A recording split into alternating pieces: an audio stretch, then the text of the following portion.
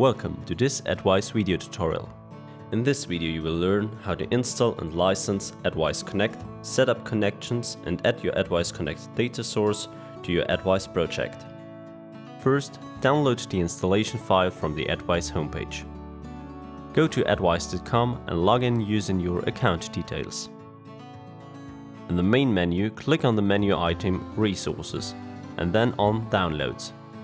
Choose the category atvise select the application atvise Connect. Click on the download link for atvise Connect for Windows 64-bit.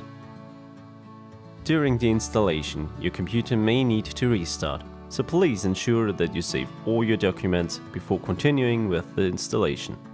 Start the installation. Click on More Info and Run Anyway. Allow device changes by clicking on Yes. If a restart is necessary, a restart offer is now shown. After the restart, start the installation again. The restart offer will not appear anymore. Accept the license agreement by clicking on Agree. You can choose the default install for the installation options. The component configuration client is optional. This component is needed for a local configuration of atvise Connect. Choose your desired destination folder and click on Next. Choose the default connections and click on Install. Now the installation starts. This process might take a few minutes. After a successful installation, click on Next. You will now get informed about the successful installation. Click on Close.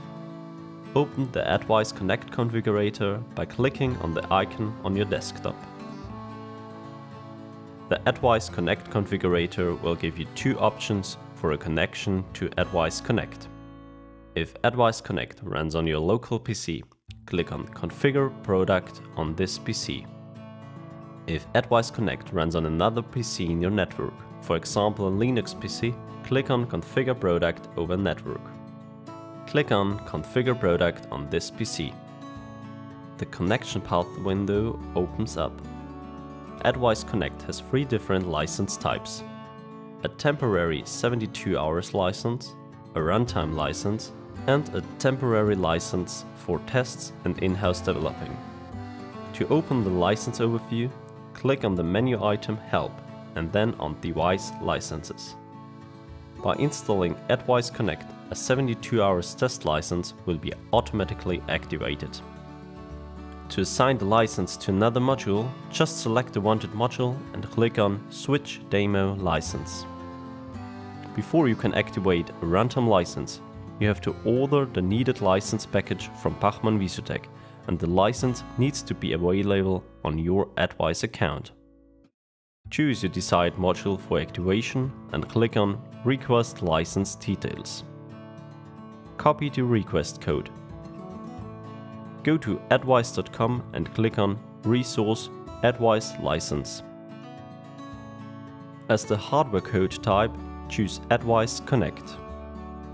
Paste the request code into the input field. Add a description to the license. Select the corresponding license type and click on Generate License. Confirm the license generation click on Show in your license list and copy the license text. Open the atvise Connect configurator and close the license activation window. Click on Enter license codes. Paste the license text and click on Save. Close the license overview. To activate a test and in-house developing license for atvise Connect, this feature has to be activated for your atvise license. Open the atvise Builder click on Server My Server. Do a right click on Data Source and click on Add Data Source, atvise Connect. Enter a name for your data source. Enter the IP address and the port of the atvise Connect data source. You can find the port of the data source in the configuration tool. There you can already find the atvise Connect OPC UA server, which is our data source confirm with OK. The atvise Connect data source is now part of your atvise project tree. In the license overview, there is a new developing module with the status internally licensed. To apply all changes after licensing, restart the atvise Connect configurator. Now we create a connection to a Siemens S7 1500. To add a new connection, click on the plus symbol. Type in a name for the connection. This name is also the name in the atvise Connect data source. Choose PLC access and click on Next.